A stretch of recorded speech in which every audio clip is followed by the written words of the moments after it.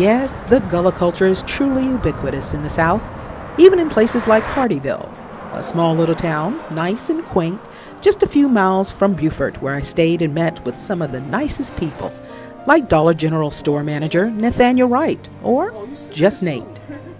If I were to ask you, are you related to the Gullah culture, the Gullah people? Yeah, I am. Um, You are what? related to them. You're related to the Gullah people? I- the I Gullah know- culture? I, I know I am. Now, how far back, I don't know, but pretty much everybody around here has some kind of root tied into the Gullah people, family. Nate was born and raised right here in Hardeeville, which is also known as Little Savannah or Slowville. Because it's nice and slow in the in the yes, living season. Yes, it is, it is. Oh, okay. It's pretty much easy, it's very easy. Hardeeville is not exactly traditionally known as Gullah country, but it really doesn't matter because the non tangible elements, the spirit of Gullah, permeates the walls of any store, house, or village. Nate says it's about knowing who you are and your traditions. The heritage, the root, the everything from the upbringing, from the different um, planning and um, the different foods and everything. Everything that encompasses your beginning. Yeah, my thing is like my fam, my mom always told me, you know, if you don't know where you're from, you, you're not gonna know where you're going.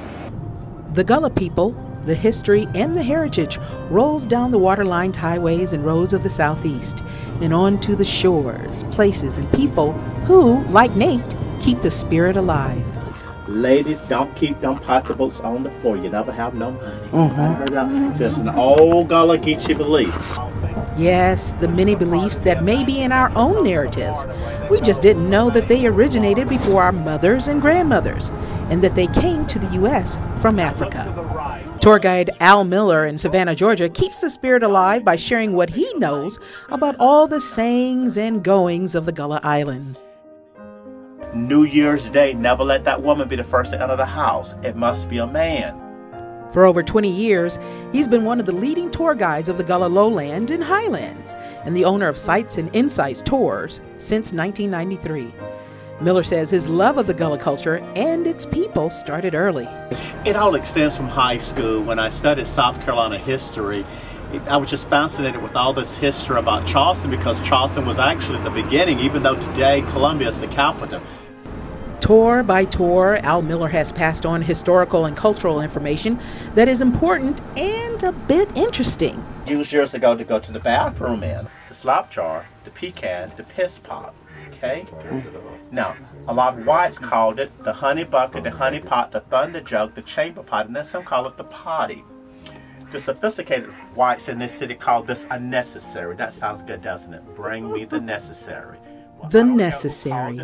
So there are the beliefs, the mores, and traditions. Then there are the beliefs and the language itself mixed in with a little southern pride.